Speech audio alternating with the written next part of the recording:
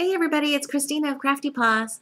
I thought I would share with you guys a little book that I made to um, house all of my doodles for the month. This was um, my entry into Jamie Lola's January Doodle Days. Um, uh, her YouTube name is Poetspice. And I had so much fun doing this, and it really got me back into drawing again. And I really, really appreciate that. And um, so I, I, thought I would just do a flip through and also share my last doodle with you guys. Um, I learned how to do this Japanese bookbinding um, from a YouTube channel called Sea Lemon um, at the recommendation of Rosa, who is ColorXplosion here on YouTube. Thank you, Rosa. There are lots of great DIY tutorials on that channel, and I'll put a link in the description box uh, for the tutorial that I followed. I think I might have to do this again once I get wax thread, but I used what I had and we're snowed in, so I couldn't um, go out and get the wax thread that I wanted for this binding. Um, but I like how it turned out. I used a lot of neutral papers um, that I won in a prize package from Beth of Beth's Scrapbook Room. And I added these cute little uh, bone charms that were um, gifted to me by Kelly of Creative Curiosities. Thank you, Kelly. I think they add such a nice little touch there. Um, so I'll just do a quick flip through. I won't go into details. Uh, if you want to see anything in more detail, you can check out uh, my daily doodles that I posted along the way. Um, and I have them all on a playlist um, on my channel, so you can check it out easily that way if you want. Um, so this, I'll just, um, these are all put in order, and uh, I'll just do a quick flip through.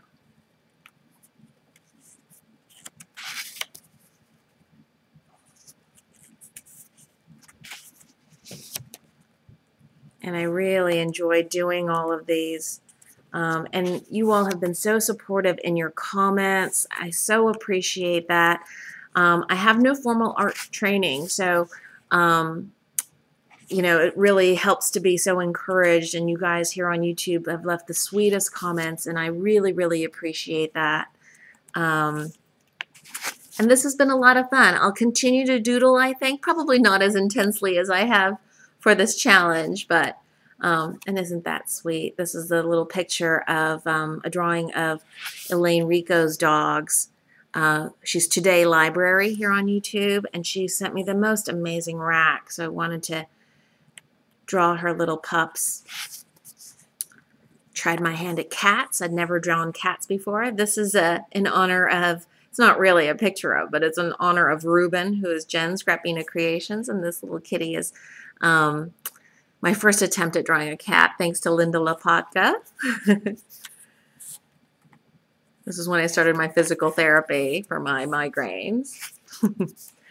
this is in honor of Jill, who's loved my two pugs. She just got a little pug puppy named Jack.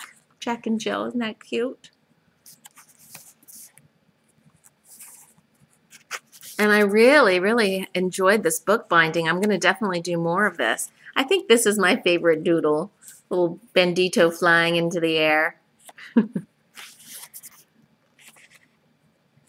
guess I like this one too. This is in honor of all you crafty folks who've been entering my um, challenge giveaway, um, which is the Love the Earth Challenge. And people have been upcycling, recycling, the most amazing things. So many trash to treasure um, uh, transformations. It's amazing. And so this is supposed to be Biscuit um, in a hot air balloon that she's supposedly made with duct tape sheets and rope. Let's see. And the last doodle is this little bat. Usually people think of bats as being scary, but um, what I learned is that they eat tons and tons of insects. And Unfortunately, mosquitoes are completely attracted to me, so I am very thankful for the bats that we have. Um, obviously, it's a little cartoony bat. Um, and that's it. That's my um, January Doodle Days uh, little bound book. And I thank you all for watching. And again, thank you for all your sweet, encouraging comments. I really, really appreciate it. Have a great day, everybody. Bye.